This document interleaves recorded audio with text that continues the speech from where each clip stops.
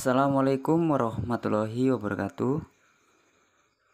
Halo guys, mas bro dan sahabat semua. Ketemu lagi dengan saya Kostawan YT Di video kali ini Saya akan membahas tentang penyakit yang mungkin su Sudah Sebulan yang lalu ya. Jadi saya juga akan membuat konten tentang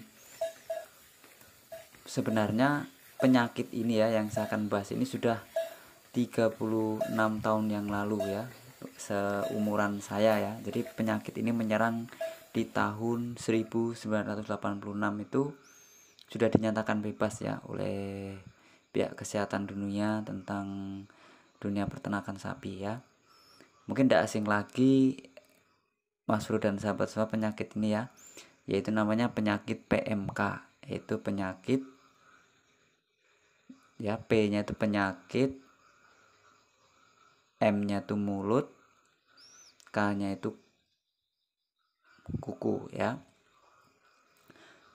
Jadi penyakit virus ini itu sebenarnya sudah pernah ya dialami oleh peternak sapi seluruh Indonesia ya yaitu sebelum tahun 1986 ya 1986 itu dinyatakan aman ternyata muncul lagi di tahun 2022 jadi ya seusia saya ya. Jadi dinyatakan bebas. Nah berarti sekitar 35 tahun kemudian penyakit ini muncul lagi. Nah penyakit ini sangat berbahaya sekali ya karena ciri-cirinya itu mulutnya itu dia kayak kalau bahasa kita tuh kayak sariawan ya bibir pecah-pecah lah bisa dikatakan itu karena itu e, memar dan bengkak itu biasanya ya. Kemudian kukunya juga sama itu e, goyang ya atau luka-luka ya tiba-tiba kayak model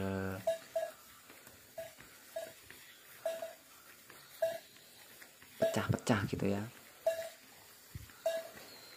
Jadi penyakit ini memang sangat berbahaya ya. Jadi bisa jika tidak ditangani dengan baik maka sapi ini akan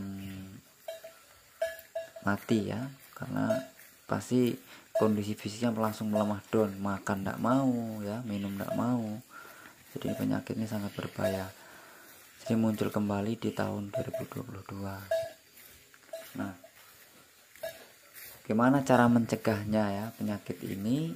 Ya yang pertama ya diberikan makanan tadi ya makanan yang bergizi kemudian uh, jauh yang bersih lah yaitu biasanya kandang dan tempatnya itu yang bersih. Nah tapi karena ini virus ya jadi kita nggak tahu dari mana penyebabnya. Jelas kalau sapi ini uh, menular ya penyakit ini menular sapi ke sapi atau binatang. Jadi nggak menular ke manusia ya jadi aman kalau manusia. Jadi sapi ke sapi. Jadi kalau kandangnya berdekatan ya pasti akan terkena itu ya. Mengenai ciri-cirinya nanti saya cantumkan di deskripsi ya ciri-ciri yang sapi yang terkena penyakit PMK ini ya. Jadi nanti sambil menonton video bisa dilihat di kolom deskripsinya ya penjelasan singkat dari saya ya Mas Bro ya. Di pembahasan ini saya menjelaskan bahwa penyakit ini itu pernah menyerang sebelum tahun 1986 jadi biar agar tahu uh, peternak-peternak informasi ya. Jadi saya berbagi informasi. Jadi biar tahu bahwa penyakit ini bukan pertama kali ya menyerang sapi-sapi yang ada di Indonesia. Tapi pernah sebelumnya sudah pernah ya. Nah, makanya saya mencari informasi agar para sahabat semua tahu ya penyakit ini ya. Bisa menyebabkan kematian tapi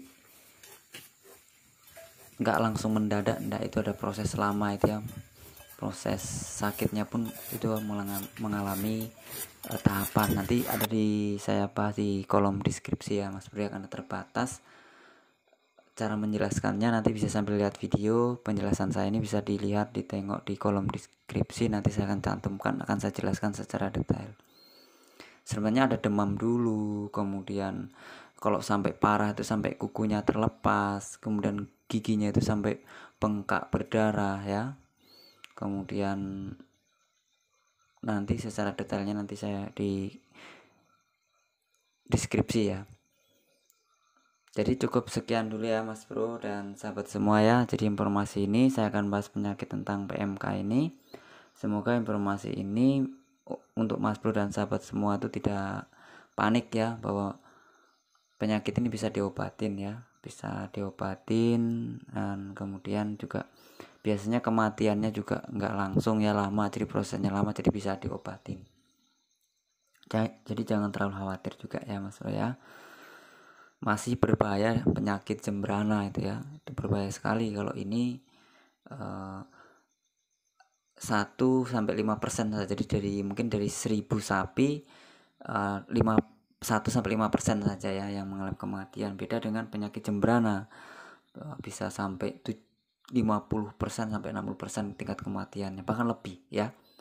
Oke sampai ketemu di video selanjutnya. Terima kasih. Wassalamualaikum warahmatullahi wabarakatuh